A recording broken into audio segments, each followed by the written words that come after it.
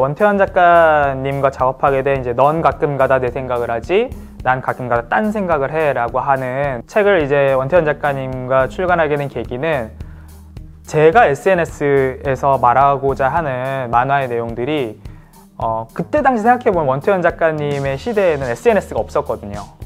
그랬는데 SNS를 만약에 한다라고 생각을 하고 만화를 그릴 사람이 누가 제일 잘 어울릴까라고 하는 걸 편집자님이 그 당시에 어, 저한테 오셔서 제안을 이제 먼저 주셨어요. 안녕하세요. 음, 그림 그리고 어, 디자인도 하고 책도 쓰고 글도 쓰고 여러 가지 다방면으로 활동하고 있는 일러스트레이터 강호명이라고 합니다. 좋아하는 친구한테 그림 그려서 잘 보이고 싶어가지고 원래 다 그런 거 아니겠어요? 기타든 뭐 음악이든 제가 그림을 그려가지고 그 친구한테 어필하고 싶고 그게 계기가 됐다고 볼 수 있겠네요.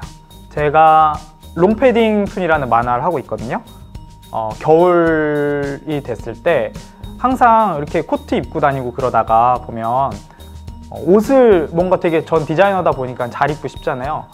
근데 여건상 그렇게 되질 않는다는 거죠. 그런 현대인들, 그런 사람들 그렇게 해서 따뜻한 거를 가장 편하고 따뜻하고 때 안 타고 이런 옷을 찾다가 보니까 롱패딩이라는 게 있더라고요. 그래가지고 그런 사람들이 많이 입고 다니는 그 롱패딩 툰, 일상 사람들의 이야기 이런 거를 제 기준에서 해보면 어떻게 할까? 뭐 이런 생각을 가지고 롱패딩 툰을 이제 시작을 하게 됐죠.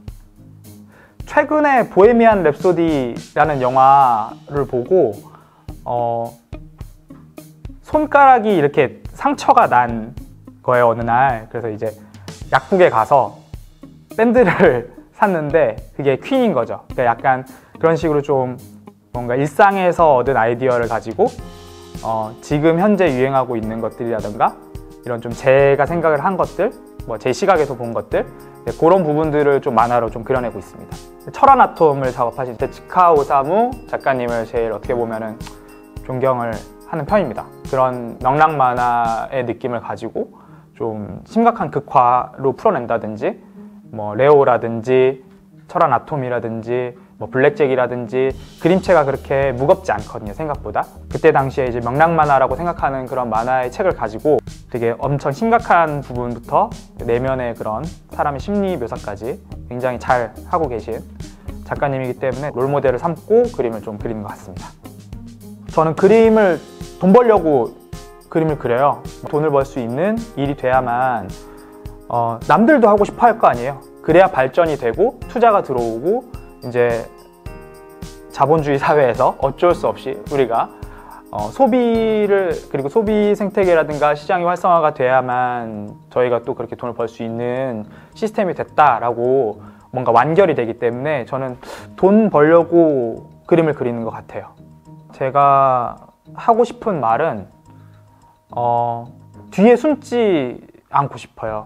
말을 하는데 어떤 내가 대중들을 상대로 어, 이게 재미없을까 이게 유행일 거야 이런 것만 쫓아서 가는 분들도 종종 있으시더라고요. 근데 어, 그때그때 정말 진솔하게 좋아하는 거 내가 원하는 거 내가 하고자 하는 얘기들을 제가 좀 잘 되게 되면 그렇게 이제 진솔한 이야기를 하는 작가들이 좀 더 많아지지 않을까. 그리고 저는 어, 되게 현실을 반영을 한다고 생각해요. 근대 문학이라든가 근대 소설들을 보면 사람들이 되게 그때 시대상을 많이 볼 수 있었거든요.